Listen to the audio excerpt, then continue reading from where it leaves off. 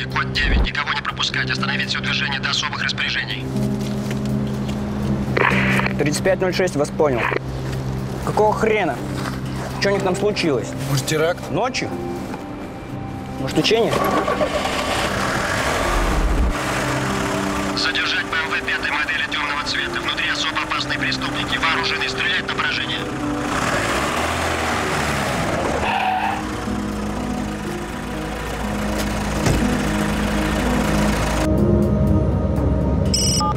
Лех, меня как-то зацепили. То ли я спалился, то ли сигнализация у них какая-то сработала. Черт, тут перекрыто все, Лех!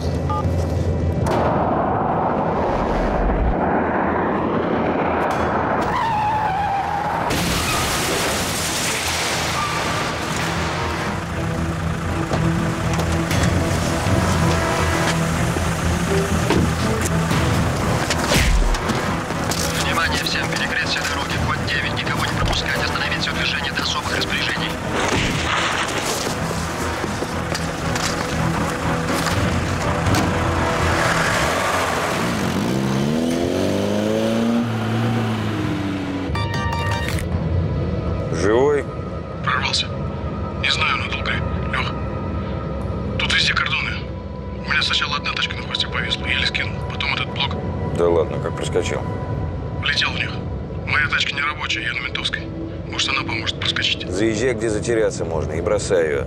Там маяки могут засечь. Да знаю. Дело сделал. Да, а ты? Разумеется. Удачи, друг. Связь, как только поймем, что тихо.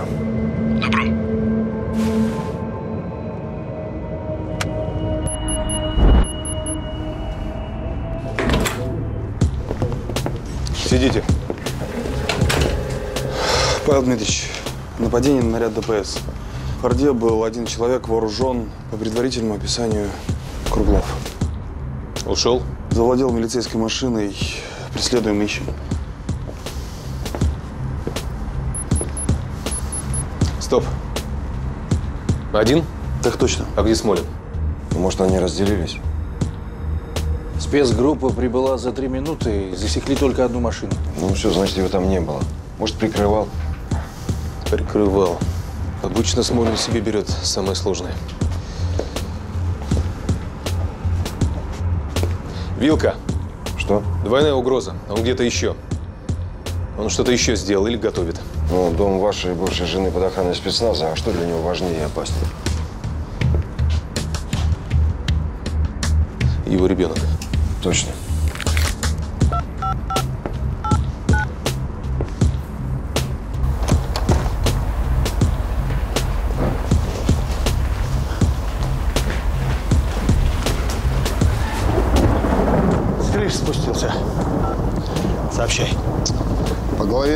Погладят.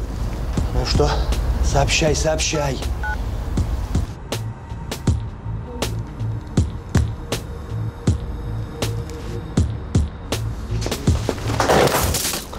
Сука.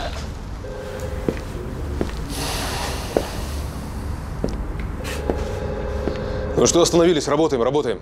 Как он украл ребенка? Чисто. Павел Дмитриевич, машину Круглову перехватили. На ежа наехал, бросил во дворах. Все силы туда. Остаешься здесь, координируешь нас отсюда. Найдите такой же телефон и поставьте мою симку. Есть.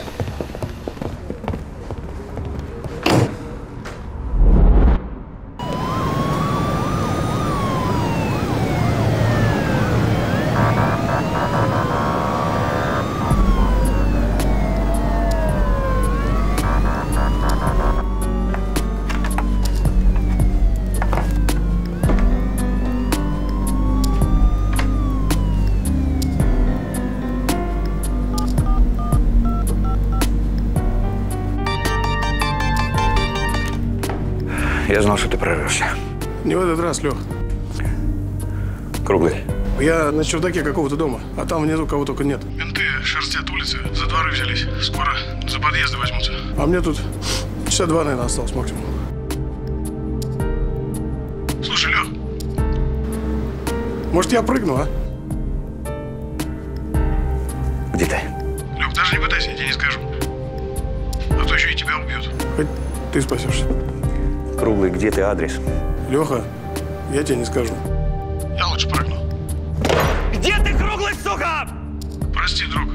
Я все-таки прыгнул, чтобы ты не выбирал. Если ты не скажешь адрес, или сейчас прыгнешь, я... Я знаю, где живет твоя мать. Лех, ты что? Я приду и убью всех в этой квартире, понял? Я убью всех, я даю тебе слово. Я даю тебе свое слово, а ты знаешь, что это такое? Ну давай. Ну давай, прыгни. Давай, убей свою мать. Союзный проспект. Дом, кажется, 9. Высотка. Все наше оружие на складе. Да, все, что было там. На связи.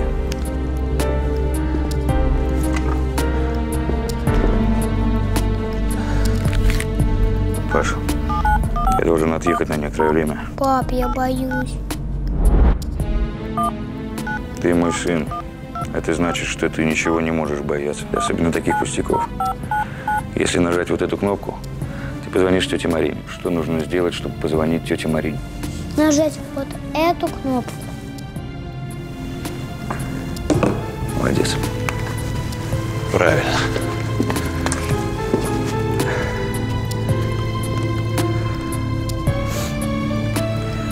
Сиди, ничего не бойся. Когда хочешь спать, спи. Хочешь играть, играй. Если прозвонит будильник, а меня не будет, значит, позвонишь тете Марине. Тогда расскажешь ей все, и она, она... Так она заберет тебя.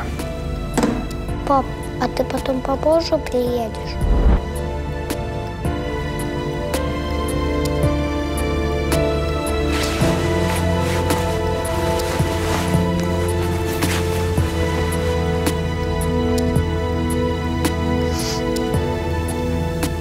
Я тебя люблю, сынок. Я тебя очень люблю.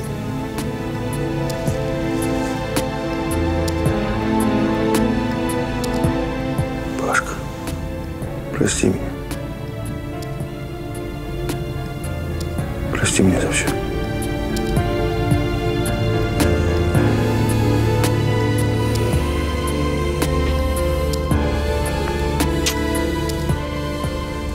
Если прозвонит будильник, а я не приду, значит, я никогда не приду.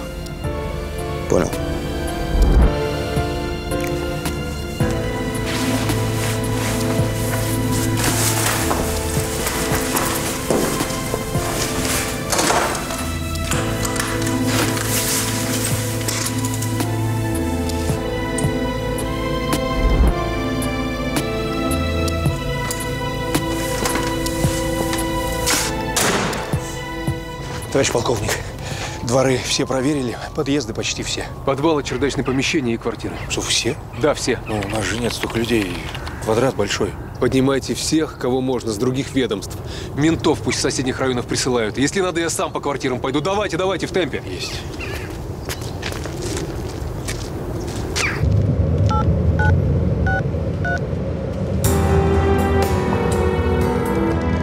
Толстяк, ты там жив еще? Пока да, но они уже за этот дом принимаются.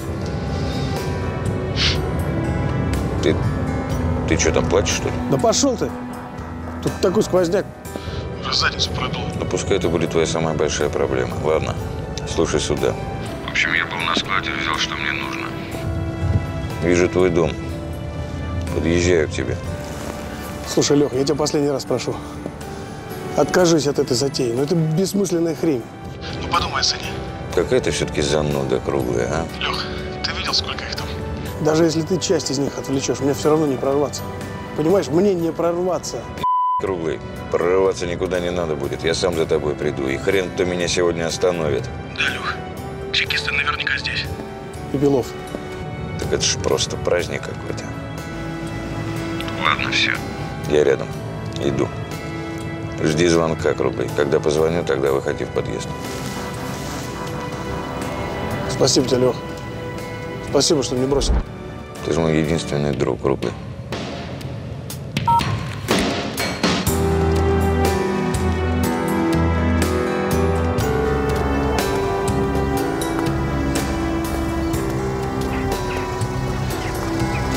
Ну чё, мусора?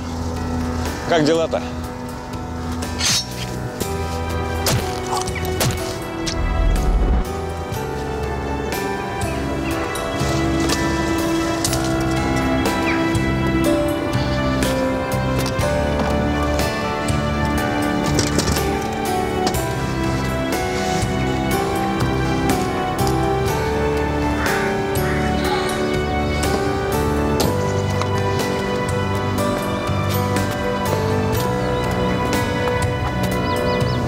Же я вас всех ненавижу.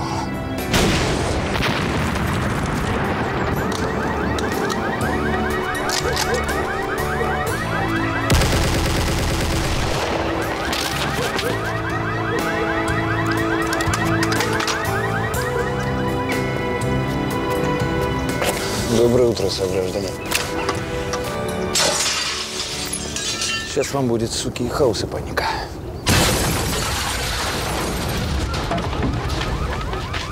Что за взрывы? Это Смолин. Где ЦЦНовцы? Едут. За мной. Вон из окна дым валит.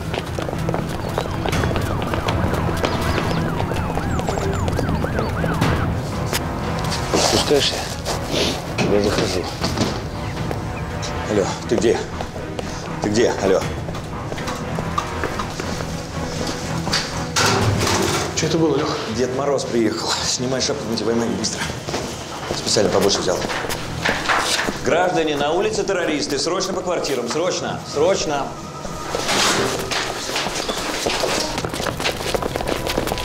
Ты видел, кто стрелял? Мент стрелял. Что? Да, он в форме был. Капитан. Всем быть внимательными. Подозреваемый в форме милиционера. Возможно, капитан. Он пришел ему на помощь. Пришел на помощь. Он где-то рядом. Они где-то здесь.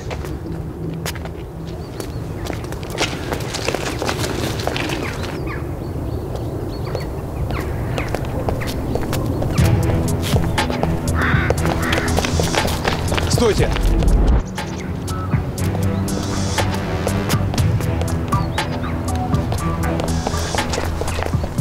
Где твоя тачка?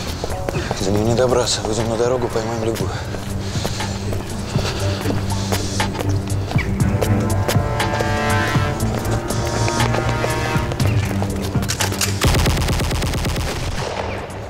Это Смолин!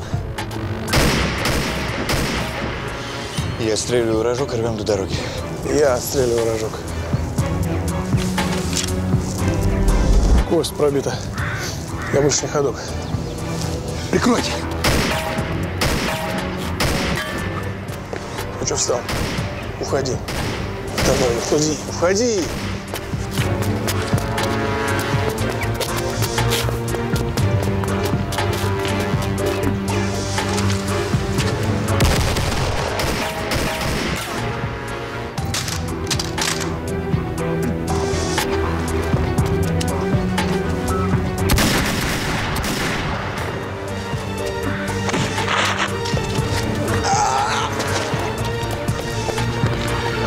Срочно скорую. Андрей, вызывай скорую. Его жизнь сейчас очень ценна.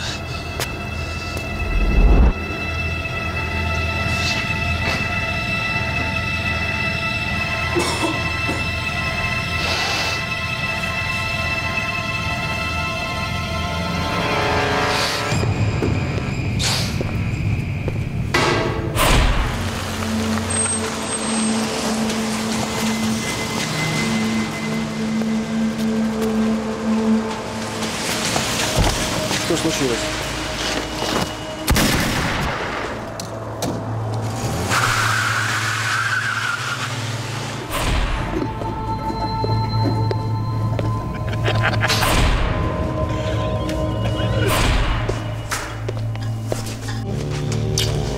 Узнаю тебя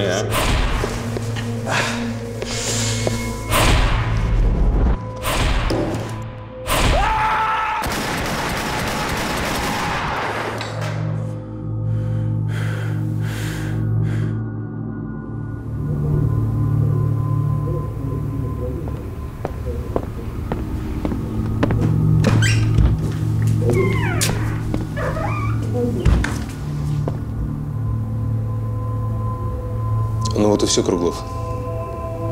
На этот раз точно. Оно того стоило? Оно? То, что ты получил взамен. Деньги, иногда. Покататься на дорогой машине, бабы. Оно стоило того, чтобы до конца жизни смотреть на северное небо через колючий проволоку. Значит, судьба такая.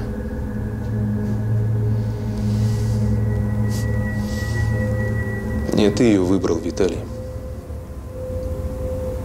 Нет, ты.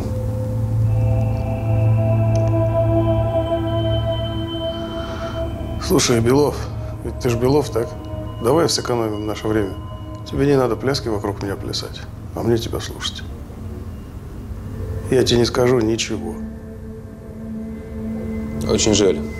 Я бы мог многое тебе предложить взамен. Многое? А ну-ка, на одно свидание побольше. Камеру пошили. Не только.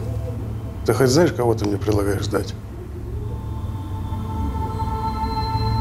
Моего единственного друга, с которым мы с самого детства вот так. Или нет? Пожалуй, я его тебе сдам. Но при одном условии. Я слышал, у тебя жена красивая.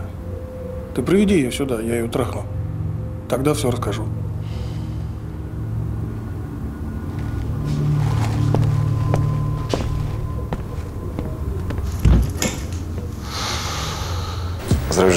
Доброе утро. Ты только подъехал, что ли? Товарищ полковник, вот Юрий Чезов, один из моих подчиненных, давно вместе работаем. Ну, что там, молчанку играем? Посылайку. Понятно. Но пока время на нашей стороне, нужно из него вытащить все, что он знает. Вот Юрий, мог бы его допросить? В смысле? Ну, в смысле, сделать его более разговорчивым. Майор, ты себя нормально чувствуешь? Он будет обвиняемым на одном из самых громких судов. Нет, товарищ полковник, вы не так поняли. Никакого пристрастия. Химия. Только химия. Под мою ответственность. Нет. Под мою ответственность. Это мой приказ действовать. Слушаюсь. Я там нужен. Ну, вы такое часто делали?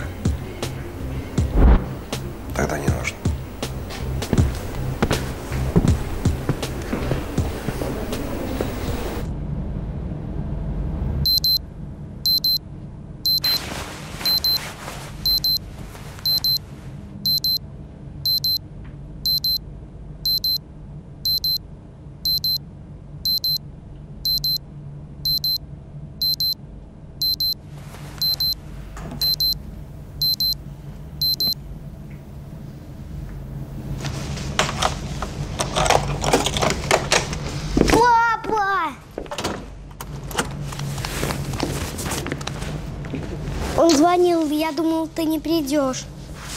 Я немного задержался, сынок, прости. Иди собери свой рюкзачок и одевайся. Иди.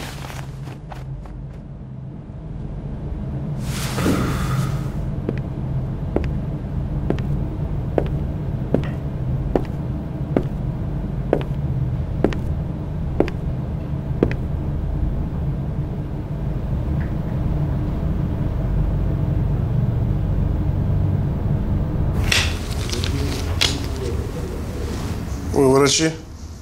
Да. Что вам надо? Ничего.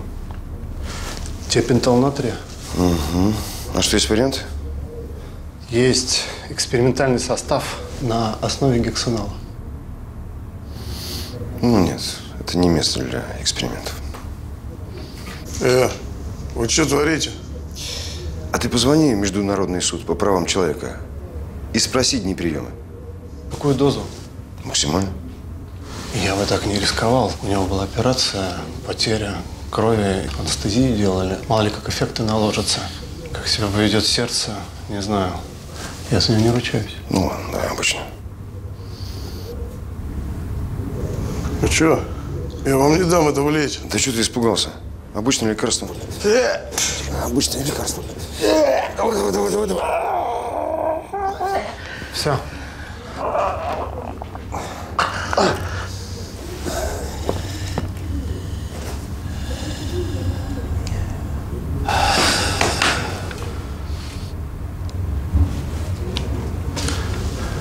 Виталик. Виталик. Виталик. Как тебя чаще называют? Круглый. Леха по жизни. Везде со с ним вместе. Я и толстым-то не был. Круглов, круглый. Можем.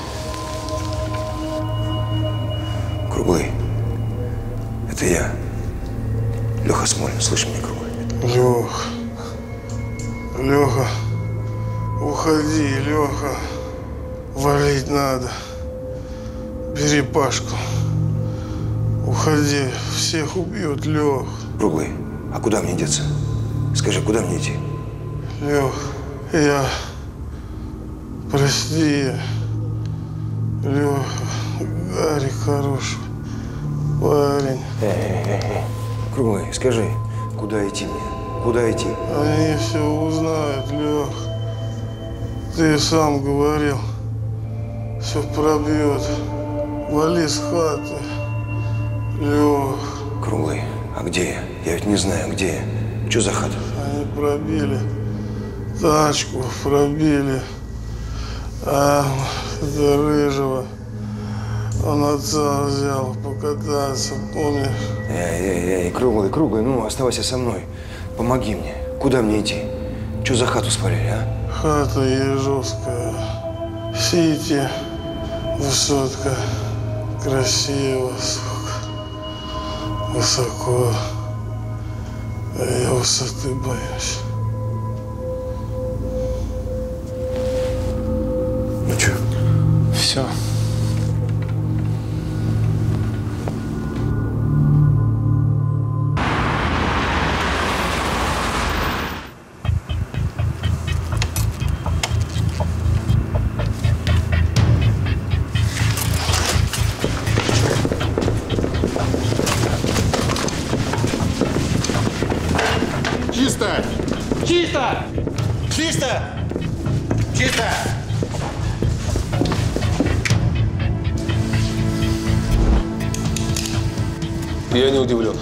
Если честно, туда. Думал, что возьмем. Думал, что он доверяет Круглову на все сто. Даже не предполагает, что он может его слить. Я тебя умоляю, он же не дурак. Он знает, что существуют препараты. Да. Тут маму родную сдашь, даже потом не вспомнишь. К сожалению, этого нельзя использовать потом на суде. Вообще, на верном ли мы пути? Жил ли здесь Смолин? Может, Круглов знал, что есть такая хата у Ежова? Может, здесь какая-нибудь встреча была, стрелка? Достаточно сложно установить конкретные данные при помощи химии. Он жил здесь. Это его дом. Почему так думаете? Не знаю, может быть, это покажется тебе смешным.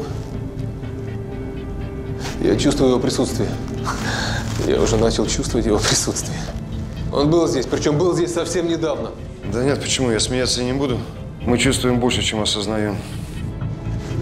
И еще я осознаю кое-что. Что? Он знает все наши ходы. И он спрятался так, что нам его не найти. Пока. И у него будет время подумать, а это самое страшное, когда у него есть время подумать. То есть вы считаете, что он не остановится? Он же всего лишился. Людей, поддержки, денег. Ну, деньги у него какие-то есть, и деньги немалые. А насчет всего остального, я не думаю, что это его остановит. Он будет возвращаться снова и снова, пока один из нас не будет мертв. Пап, пап, а спать где будем? Здесь. Здесь есть такие мягкие штуки, спальные мешки называются. Теплые, удобные. Мгм. Ешь давай.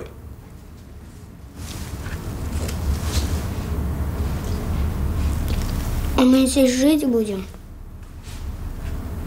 Совсем недолго, сынок.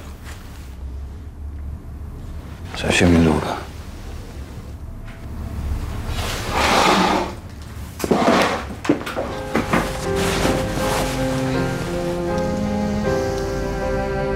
Паш, я люблю тебя. И любила всегда. Я знаю. Самоуверенный ты тип, Белов. Наташа, я тоже тебя люблю. И ты тоже это прекрасно знаешь. Я должна тебе рассказать кое-что. Кое-что очень важное. Я ужасно боюсь, ужасно боюсь. Боишься? Я боюсь, что если я тебе это расскажу, то это разрушит то, что между нами есть. Это хрупкое. Наташа, Я тебе обещаю, чтобы ты сейчас не сказал. Паш, ты не можешь мне обещать, ты даже не представляешь, о чем речь. Так, стоп, тихо. Тихо. Давай так. Я ничего не хочу слышать. Что бы это ни было, я ничего не хочу знать. Сознательно отказываюсь. Я так не смогу. Ладно. Тогда давай так. Когда эта вся ситуация разрешится, а она разрешится, когда наши нервы не будут расшатаны до предела, ты расскажешь мне обо всем, о чем хотела. Так ты сможешь? Так смогу.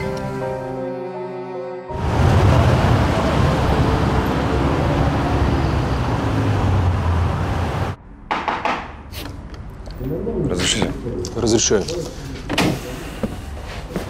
Спасибо. Товарищ полковник, я еще раз допросил Круглова. Я думаю, что он знает, где Смолин сейчас. С чего ты взял? Я вижу людей насквозь. Особенно простых. Ну, а Круглов простой. Ну чего ж тогда он такой простой, ничего не ответил вам конкретного под препаратами? Да почему? Наверняка из этого бессвязного потока слов что-то и было ответом, только, только вот что? Суть в том, что под воздействием препаратов человек не может дать конкретного ответа или сложных данных, типа адреса или номера телефона. А может, этого места вообще не было адреса, как у гаража, где взяли младшего брата. Тогда нам тебя питал не поможет. Из того, что ты пришел, я понимаю, ты знаешь, что поможет. Да. Не наверняка, но с хорошим шансом. В общем, Круглову нужно предложить полную амнистию за Смолина. Этим его не обманешь. Он не поверит тебе. Ну, во-первых, не мне, а вам. А во-вторых, не надо его обманывать. То есть ты мне предлагаешь поменять одного преступника на другого? Да у Круглова трупов не меньше, чем у Смолина. Мы не сможем сделать ему амнистию по закону. Товарищ полковник, при всем моем уважении, если бы мы действовали по закону, они бы оба гуляли до сих пор.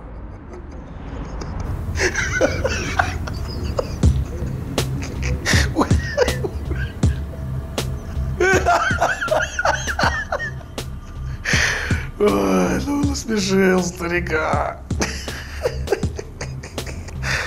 Трава-то ничего была, полковник? Ты посмейся, Круглов, посмейся. Тебе только это и остается.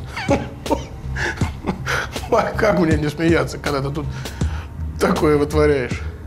Ты бы еще сказал, что мне орден дадут за то, что я стучать начну. Нет. Похоже, вам придется к старым дедовским методам обратиться. Я вообще удивляюсь, почему вы до сих пор их не применили. А я хоть заодно посмотрю подвалы Лубянки. Я тебя разочарую, Круглов. Там всего лишь гараж. Давай вернемся к моему предложению. Оно настоящее. И работает оно следующим образом. Я договариваюсь с руководством, и мы разваливаем дело. Изымаем все улики, выводим тебя из-под всех подозрений.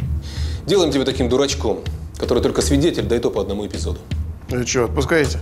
Да. Ну, прежде цепляем вот эту штучку. Снимать ее нельзя, это постоянный сигнал. Попытка снять маленький взрыв. И что? Я сдаю тебе Смолина, снимаю эту хрень, и типа все, разбежались? Ну, это ты погорячился. Это останется с тобой навсегда. Полный и тотальный контроль на всю жизнь. Одна маленькая ошибка, сделаешь что-нибудь не так и сядешь навсегда.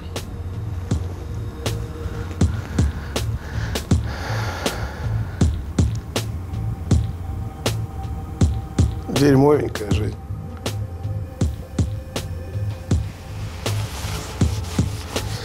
Любой из тех, кто сейчас сидит на пожизненном и осознает, что проведет свои дни до конца в этой клетке, никогда больше не проснется в теплой постели с женщиной, не поест в кафе, не искупается в речке. Да даже просто так по городу не прогуляется. Сделает все, что угодно, лишь бы получить шанс. Только шанс прожить ту жизнь, которую ты называешь дерьмовенькой. Смолин отобрал у тебя жизнь. У тебя же еще может быть семья, жена, дети. У тебя еще есть шанс прожить ту жизнь, которой у тебя никогда не было. Как уж ты там со своей совестью разберешься, это уже твое дело. И ты хочешь, чтобы я поверил, что если вот это все прокатит, вы через полгода не подошлете ко мне по-тихому своего стрелка? Твоя беда, Круглов, в том, что ты всех меряешь по себе. Ты можешь хотя бы предположить, что я не такой же кровожадный, как ты. И любая жизнь, даже такая, как твоя или Смольная, имеет для меня ценность. Если бы сейчас по щучьему велению мне предложили бы два варианта – убить Смолина или посадить его, я выбрал бы второй вариант. Мне не нужна месть. Мне нужна расплата.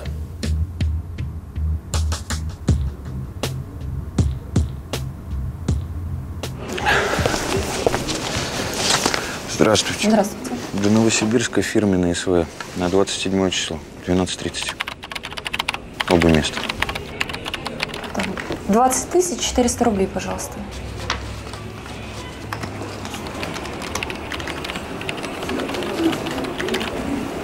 Спасибо. Пожалуйста. И на 30 число из Новосибирска в Киев самолет. Вечерний рейс. Тоже два? Нет, один.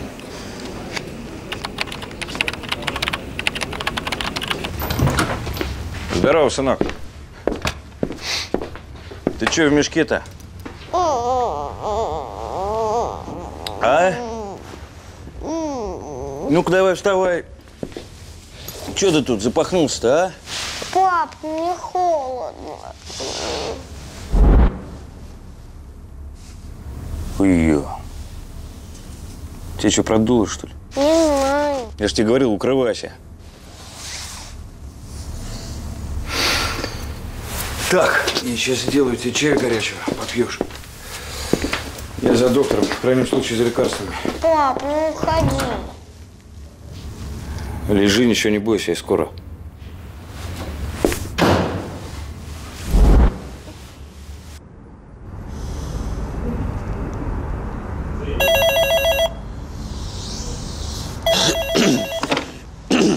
Белов. Есть, товарищ полковник. Что есть? Я же ничего не приказывал. Да нет, нет, не в этом смысле. Результат есть. Сломался Круглов. Что? Да, недолго протянул, как свобода замаячила. Готов говорить, готов пойти на сделку, но ему нужны ваши личные гарантии. Я уже еду. Я на месте, жду.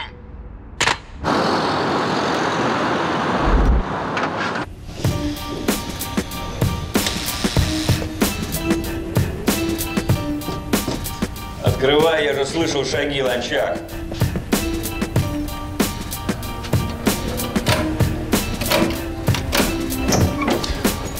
Что, спятил? С ума сошел ко мне домой приходить? Я не мог позвонить. Избавился от аппарата, там все номера не успел приписать. По сети нельзя было написать, я бы тебе дистанционно бы ответил. Все, Леша. Что все? Это уже безумие. Не рассчитывай на меня больше. После того, что вы натворили, я вообще удивляюсь, как ты жив ходишь. Знаешь, Ланчак, я тоже. Ну, может быть, даже побольше твоего. Собирайся, поехали. Леша, я же сказал нет. После того, что вы натворили, меня, если поймают на этой помощи, мне минимум лет 10 паяют. Знаешь, Ланчак, я всегда уважал врачей. Есть в них что-то по-настоящему благородное. И ты мне был глубоко симпатичен. Поэтому я не хотел бы доводить до этого. Но без тебя я никуда не уйду. Чего бы мне это ни стоило, во что бы мне это ни стало. Плюс тройная цена. Плюс ты не пулю из бандита будешь вытаскивать, а сына моего посмотришь, который заболел.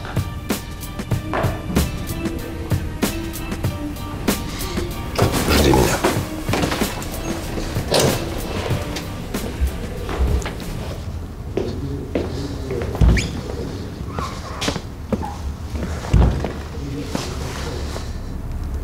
Итак, ты хотел меня видеть?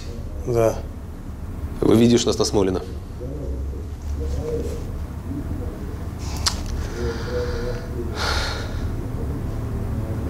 Я не хочу всю жизнь гнить в тюрьме. Я всегда хотел только одного, с самого детства. Жить достойно. У нас в семье ничего не было. А хотя вокруг совок, остальные вроде нормально жили. Но мне надоело на это смотреть, когда мы последний хрен без соли доедали. А потом и сок закончилась. Моя мать не могла мне дать того, что было у других. Я ее не виню, она одна была. Но вот когда я добыл свои первые бабки, я дал себе слово. Никогда, больше никогда не буду жить в нужде. И никто не скажет мне, как я должен жить. И мне плевать, на что мне надо будет пойти ради этого. Ты чего, Круглов, хочешь? Чтобы я, человек, имеющий звание кандидата наук, старший офицер госбезопасности на руководящей должности, Отец десятилетней девочки слушал тебя, дурака с девятью классами средней школы, и философия, а что у них лучше. И я себе слово дал, чтобы я выслушал твои бредни из разряда «не мы такие, жизнь такая». Да нет, Круглов. Это вы такие. Был бы ты на моем месте. Да я на своем месте. А ты, как видно, на своем. И на очень правильном. Я тоже в неполной семье рос. В детстве не балованный. Но вот как-то стараюсь по совести жить. Стараюсь людям помогать не только по долгу, но и по жизни. И знаешь, даже есть чем гордиться. А если меня убьют такие, как ты, я, по крайней мере, буду знать, что жизнь не зря прожил. И людям помогал. А тебе есть чем гордиться, Круглов? Ну, хоть чем-нибудь. Или то, что ты не в нужде живешь и плевать, что для этого нужно, это уже отличный повод? Тебе плевать на мою философию, а мне на твою. И нахрен мне вообще чем-то гордиться? Ну, разумеется. Просто я хочу, чтобы ты понял, что значит для меня тюрьма. Это самое страшное, что только может случиться в жизни. Хуже любой нищеты. Но ты понимаешь, надеюсь, что дело не в самой тюрьме. Зэки там всякие, понятия, сроки, здоровье, смерть. Не свобода.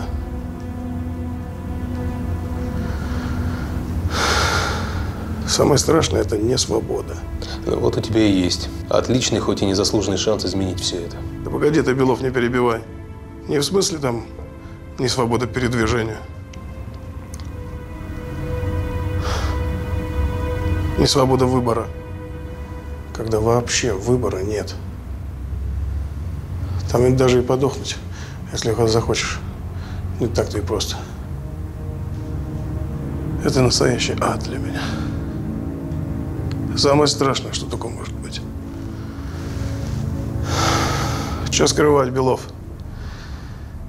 Я тебя ненавижу. Тебя и всех вас, комитетчиков, ненавижу. Гораздо хуже мусоров.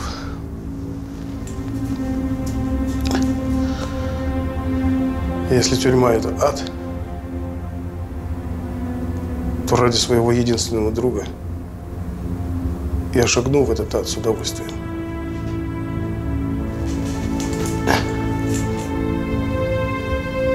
А вот этот твой взгляд будет меня греть каждый день моего пожизненного срока.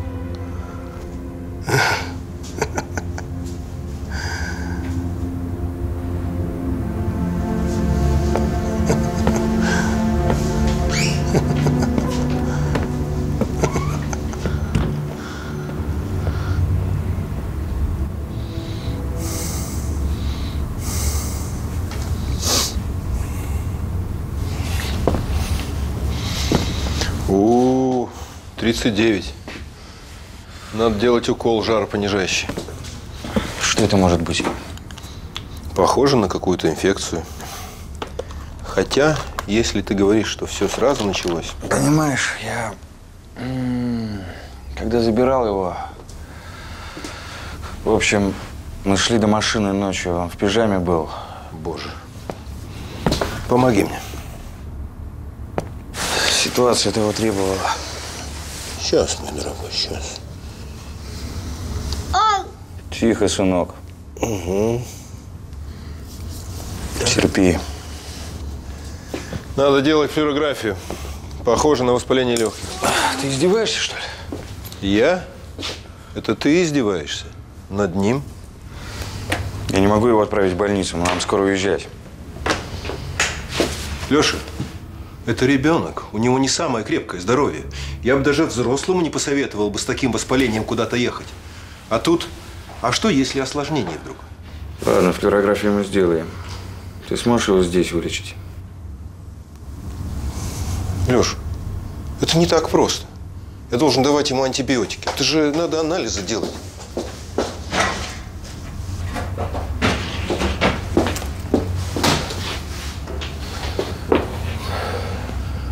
Чем здесь это?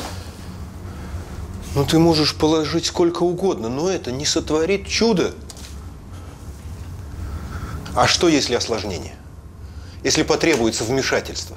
Если вдруг жидкость в легких? Что тогда? Опять-таки, анализы. Надо следить за состоянием.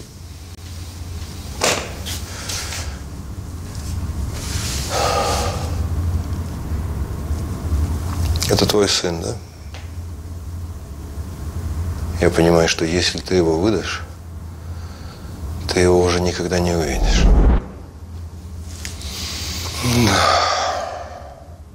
Выбор не из легких, Леш. Но пойми, что на другой чаше весов может быть его жизнь. Ты сможешь его забрать на время? Леш, я не сестра милосердия, не друг твой и не больница. Я заплачу тебе денег. Это ни при чем.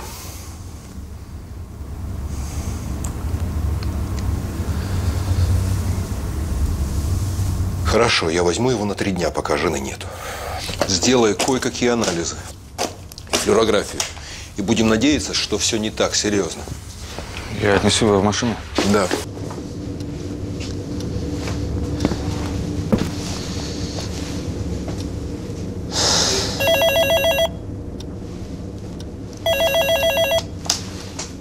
Белов.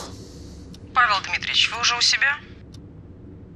Странный вопрос, Аня. Ты же звонишь мне на стационарный телефон. Простите, я так просто для порядка спросила. Вас ждут в зале. Кто еще? Директор. Что? Олег Евгеньевич? Доброй ночи. Ну, я думаю, осталось уже немного. Мы уже рядом.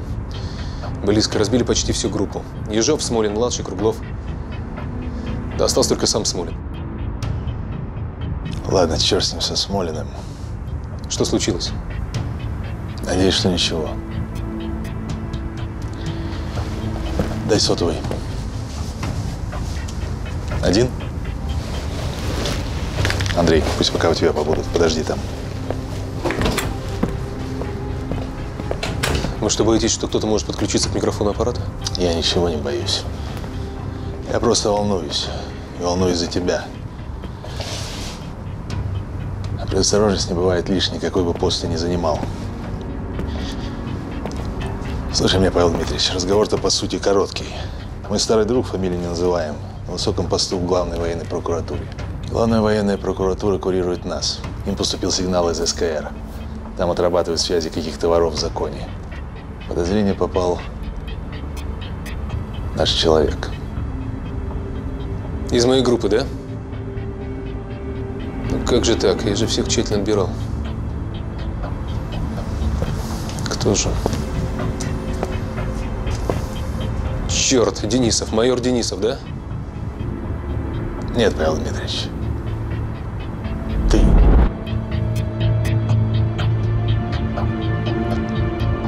Информации немного. И это не улики ни по какому делу. Но это возможное доказательство связи. Они держали под колпаком известного вора в законе. Некоторое время назад у него была встреча. Отработали человека с твоей бывшей женой. СКР стали копать. Наткнулись на тебя. Вы снова живете вместе. Передали материал прокуратуре. А те по старой дружбе шепнули мне.